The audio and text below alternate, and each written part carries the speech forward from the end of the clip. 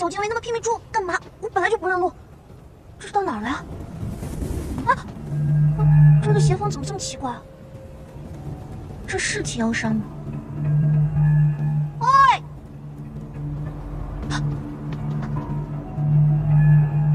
有人擅闯禁地山谷，有分头去找。好，我等族人世世代代在此，多礼，让你拿去。这里是我们说了算，不用再说了。哎一分高下，说什么？你们别动手，别动手！玄魔君，你又迟到，你可知老子还有众位首领，今日等你多久啊？对不住啊，小炎魔君，在下今日到处搜寻皮毛，所以来迟了。哎，赤魔君，这两位是？是赤水族和清水族。哦，为了两河之间的一片山谷，激烈交战，导致两败俱伤，伤亡惨重。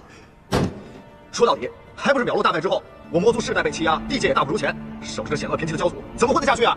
哎，小炎魔君，现在我们元气大伤，魔尊秒落又被封印，神族大胜之事，我们也没办法呀。与其自相残杀，还不如与神族拼个你死我活。对，我们攻入封印之地，救出魔尊。魔尊嗜血好杀，不分敌我。如果贸然将他给放出来，恐怕……管他的，老子可不怕。与其这样窝囊的活着，倒不如就跟神族大战一场，冲分地盘。那东华又有什么可怕？老子倒想跟他较量一下。小燕魔君魔功盖世，现在在魔族，唯有小燕魔君可以与东华对抗。不过小燕魔君，如今赤魔君才是我们魔族之主，还是听赤魔君的安排吧。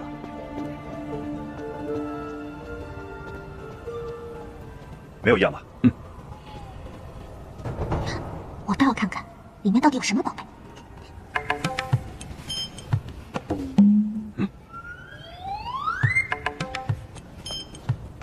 小家伙是你啊！帝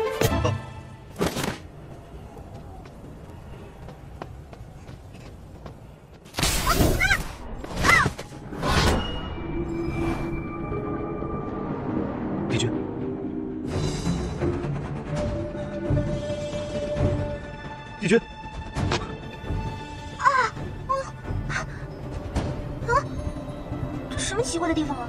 为什么他们可以进去，我就不能进去啊？三万年了，东华，你的结局终究会到来，会按照我的设想一一成真。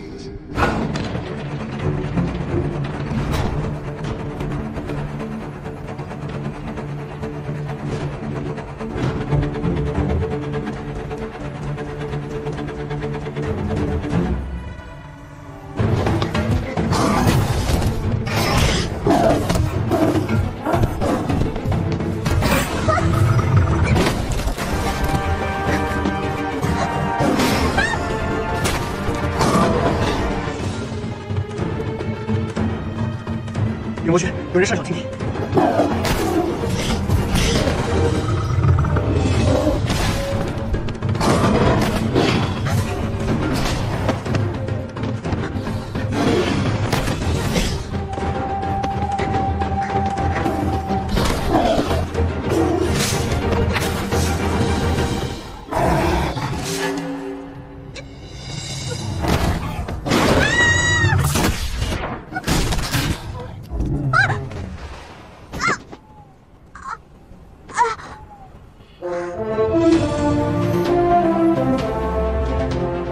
紫衣白发，东华帝君。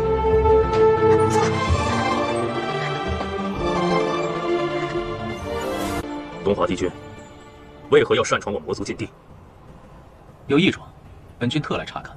查看？帝君可是忘了，这里是魔族，自然有我会看管。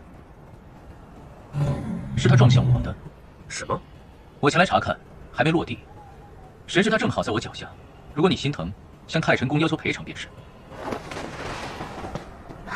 这魔族的人也太颠倒黑白了，明明是那妖兽想加害于我，哼看我怎么收拾他！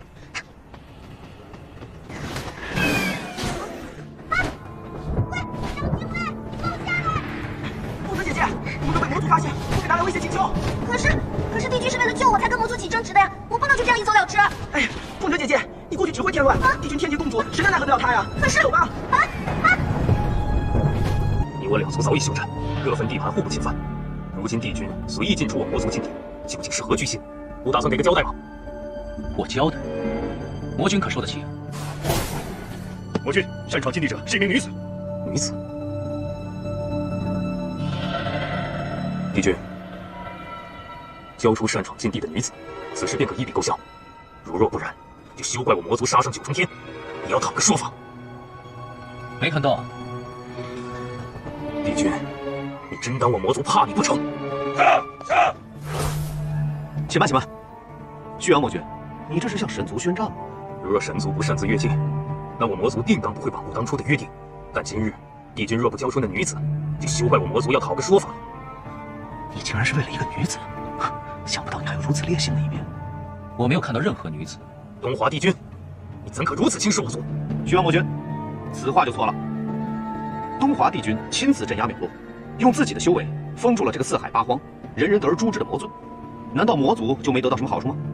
连宋殿下所言极是，帝君是什么身份？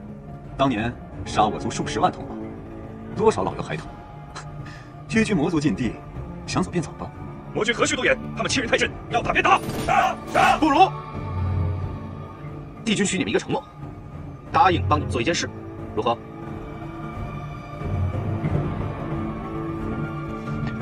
不过是随便答应帮他们做一件事，有的是方法糊弄他们。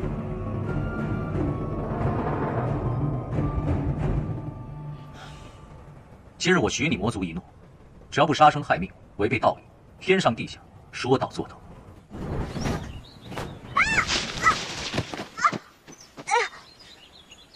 小精卫，你就不能轻一点啊！我跟你有仇啊，你公报私仇。怎么回事？嗯，精卫失误，让凤九殿下误入险境，幸得东华帝君相救。东华帝君，东华帝君，东华帝君好英俊啊！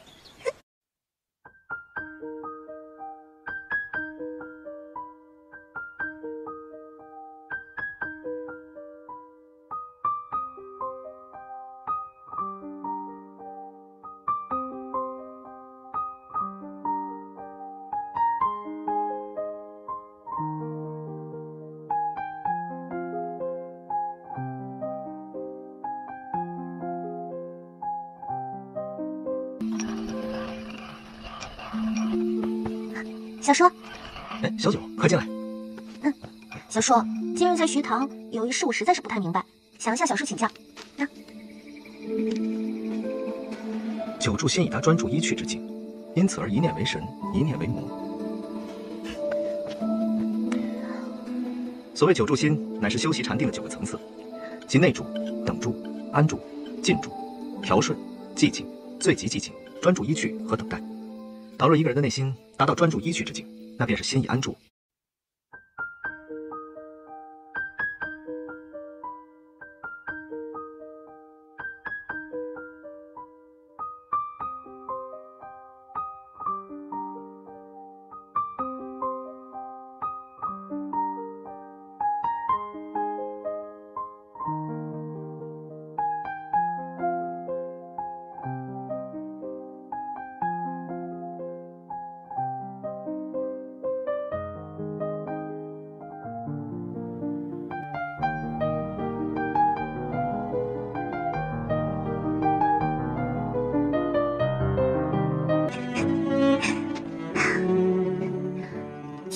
前非神非魔，只是择了神道弃了魔道，可是他为什么会选了神道呢？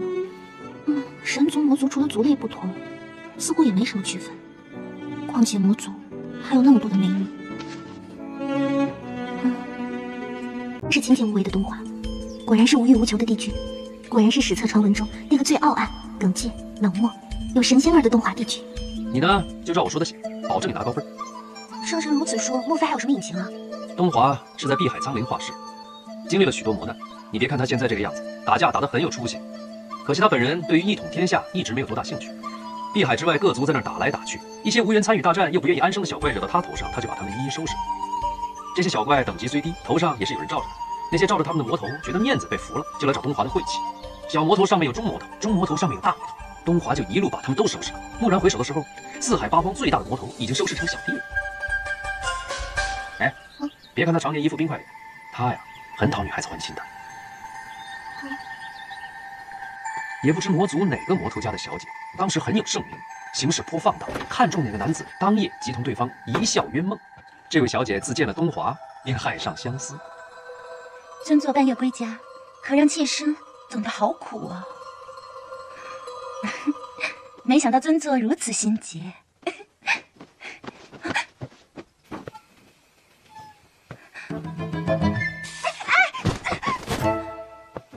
丢出去了啊！丢出去好，丢出去好。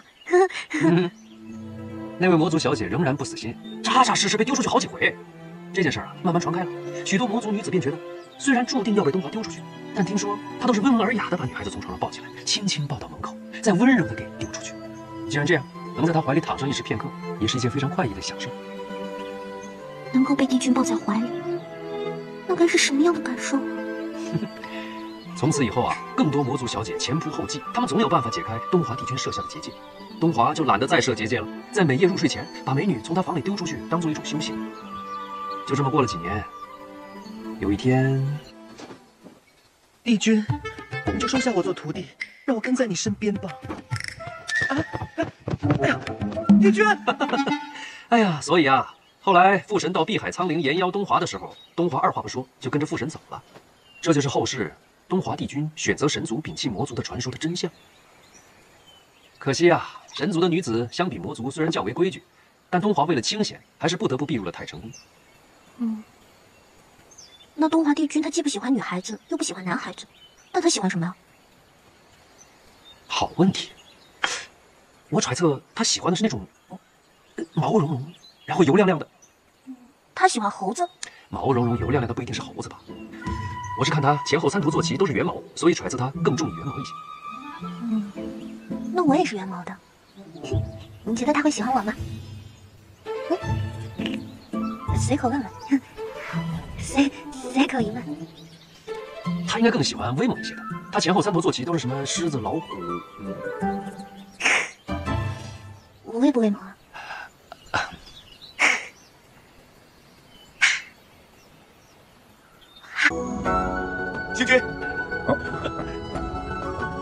最近魔族蠢蠢欲动，竟还敢与东华帝君起了冲突，这事你听说了吗？星儿有连宋殿下及时赶到，这才避免了一场祸事啊。据说，星君可知，此番帝君去我禁地，乃是为了一名女子。确实是啊，竟有此事？是啊。啊，我也听说了，据说是帝君对此女子一见倾心，二见许心，才不惜与魔族一战，也要维护她。传的这么有板有眼的，听谁说的？呃，连宋殿下。连宋的话都信？信啊信啊！怎么能不信？当然信了。说得好，是个女子，跑出来我都不信。神仙呐！哎，折颜上神，你就帮帮我吧。若是让我的爹娘知道我不惜自降身份要去九重天做仙娥的话，那他们定会打死我的。万一让爷爷知道了，那他肯定觉得我在给青丘丢人。折颜上神，你就帮帮青丘，帮帮我吧。你都知道大家会生气，仍然要去？嗯，我一定要去。爷爷跟我说过，滴水之恩当涌泉相报，更何况是这种救人之大恩。我身为青丘帝姬，绝对不能丢青丘的颜面，这是我凤九的为人处事之道。好，你这忙我帮。你这么乖巧伶俐，厨艺又好，东华就算是个老冰块，一定也抵不过你的乖巧伶俐，更抵不过你的厨艺。你就放心的去吧，我跟你小叔啊，做你的后盾。九天神女，谁没爱过东华帝君？帝君人冷心冷，你说小九此去是福是祸？是福是祸，是祸躲不过，你我就无需如此操心了。哎，这不是我让小九带给我二哥的簪子吗？怎么会在你这儿？嘿，我做的发簪几乎都被你给收了，你要那么多你又不戴，你有什么用啊？